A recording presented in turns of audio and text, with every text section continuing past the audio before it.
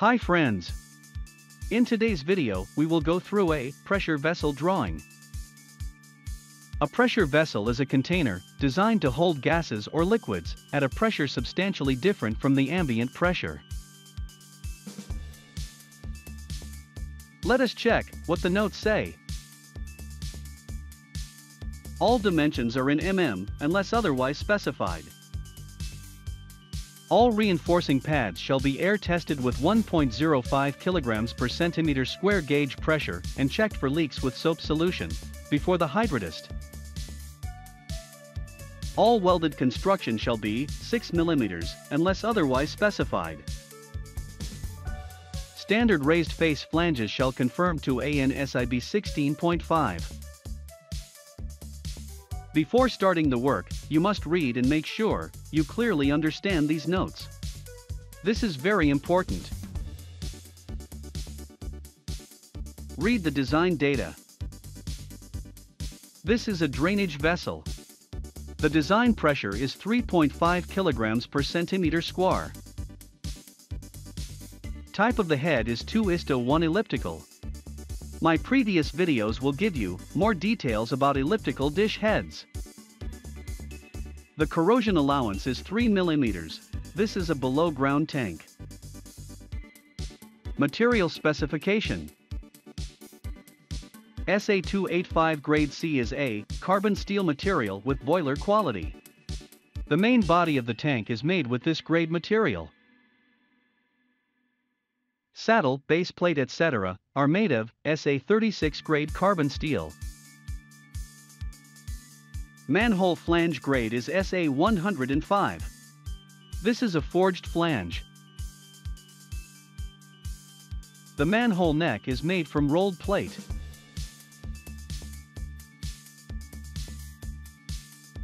CAF gasket sheet is a non-asbestos material which is made up of fibers. See the bolt nuts and electrodes grades.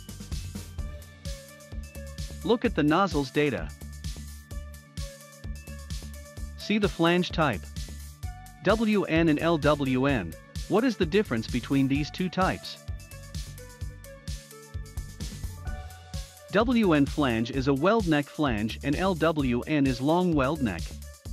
Long weld neck flanges are like weld neck flanges, except for the neck, which is extended and acts like a boring extension.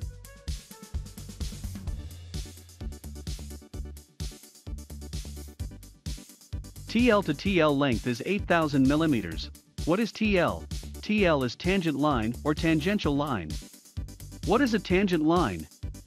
The tangent line describes the point on the head where the knuckle radius meets the straight flange. What is WL? WL is weld line. The diameter of the tank is 2500 mm and the thickness is 10 mm.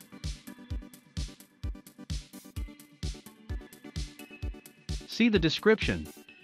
It says the dish end is ellipsoidal, the dish blank thickness is 12 mm and after forming, the minimum thickness shall be 9 mm.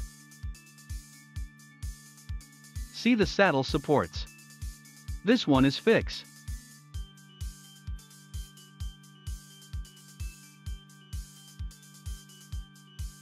This one is a sliding saddle. See the top view of the vessel and study the nozzle arrangements.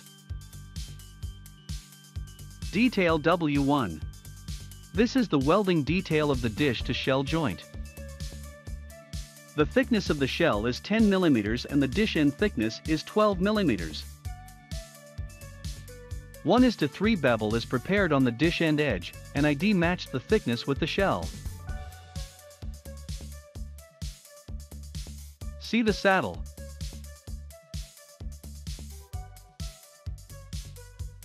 Four numbers slotted holes on the base plate of the sliding saddle.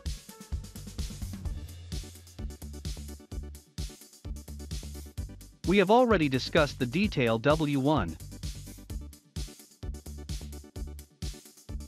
W2.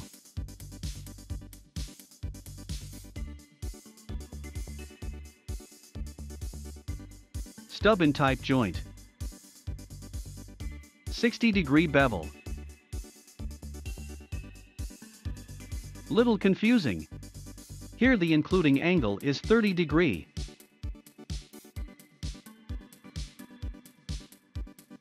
Here the including angle is 35 degree.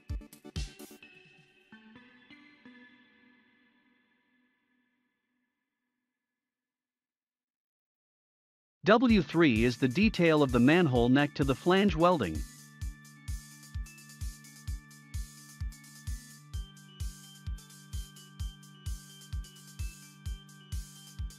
Detail W4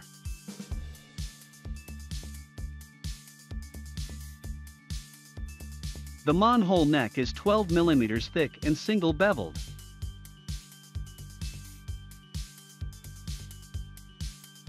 I hope this video was useful to you. Thank you for watching. As always, good day.